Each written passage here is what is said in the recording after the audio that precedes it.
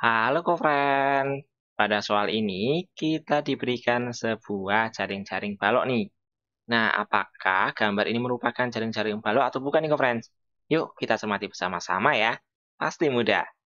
Yang pertama kita ingat lagi bahwa jaring-jaring itu adalah kumpulan bangun datar penyusun bangun ruang yang diperoleh dengan cara membelah bangun ruang mengikuti rusuk-rusuknya ya. Nah, sedangkan untuk bangun atau jaring-jaring balok, itu memiliki enam bidang sisi dengan tiga pasang sisi berukuran sama.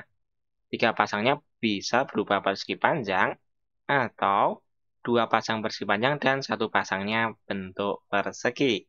Untuk lebih jelasnya, ini merupakan bangun ruang baloknya, kok, friends.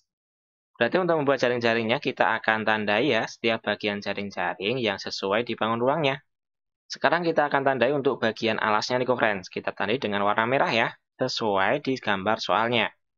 Sehingga bisa kita lihat untuk alasnya adalah yang warna merah. Kemudian samping kanan dan samping kirinya kita kasih tanda dengan warna kuning nih friends.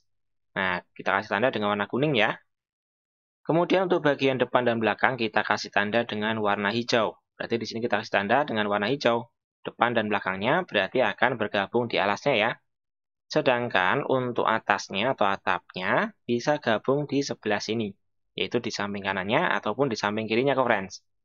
Nah, sudah kita dapatkan nih salah satu bentuk dari jaring-jaring balok. Baik, sekarang untuk mengecek apakah bangun ruang di soal ini, yaitu jaring-jaring di soal ini membentuk bangun ruang balok atau bukan, tinggal kita geser-geser nih ke friends. Jadi untuk mencari jaring-jaring balok yang lainnya, di sini tinggal kita geser yang sisi bagian depan dan belakang ini ya, yang warna hijau, baik ke kanan ataupun ke kirinya. Nah, jika kita cocokkan, berarti di sini adalah yang atas ya, kita geser ke kanan. Sehingga di sini untuk sisi kanan dan kirinya, kita tanda dengan warna kuning ya di sini. Selanjutnya, untuk sisi yang bagian depan itu akan di bawahnya alas di sini ya. Nah, sama nih friends. Kemudian, untuk sisi yang bagian belakang, itu di atasnya sisi yang bagian atap. Kita kasih tanda dengan warna hijau nih.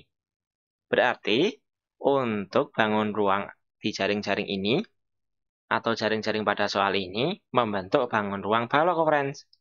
Sehingga benar, artinya tidak kita kasih tanda silang ya, karena ini merupakan jaring-jaring dari balok.